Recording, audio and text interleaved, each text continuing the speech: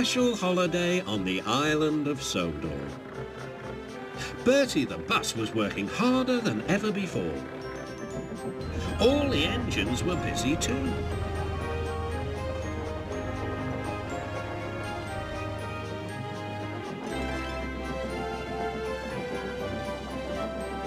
Duck was waiting for his next journey. Near him stood a red bus, but he didn't look friendly like Bertie.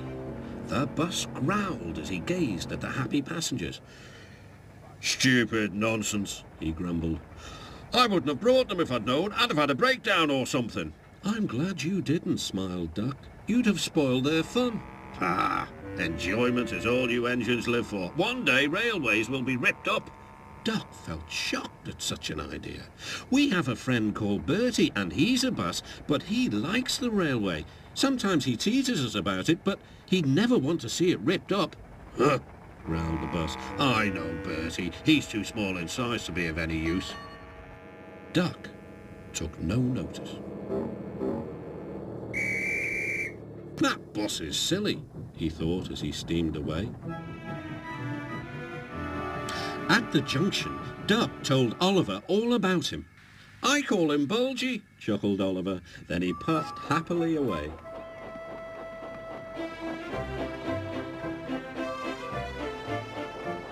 But that afternoon, when the two engines met again, Oliver was no longer laughing. Bulgy's friend has come, he said. He's rude too. He's taking Bulgy's passengers home so as to leave Bulgy free to steal ours. But he can't, objected Duck. Bulgy says he can get them to the big station before us. Rubbish, replied Duck. It's much further by road. Yes, continued Oliver, but Bulgy says he knows a shortcut.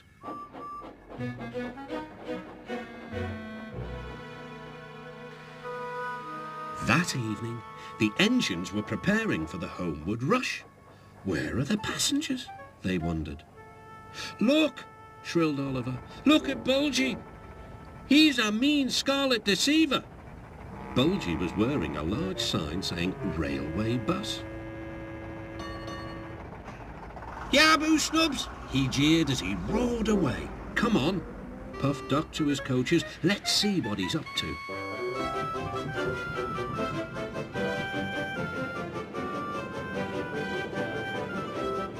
Duck wanted to pay Bulgy out, but he wasn't sure how.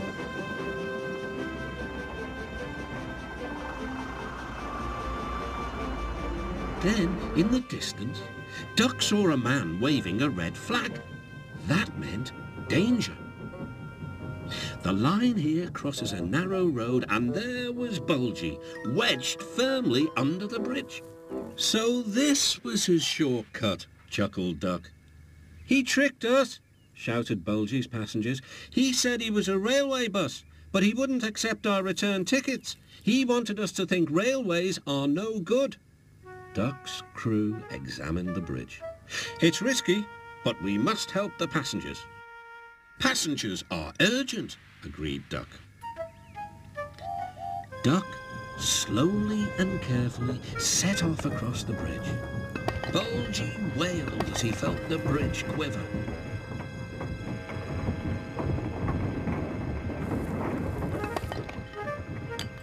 Stop!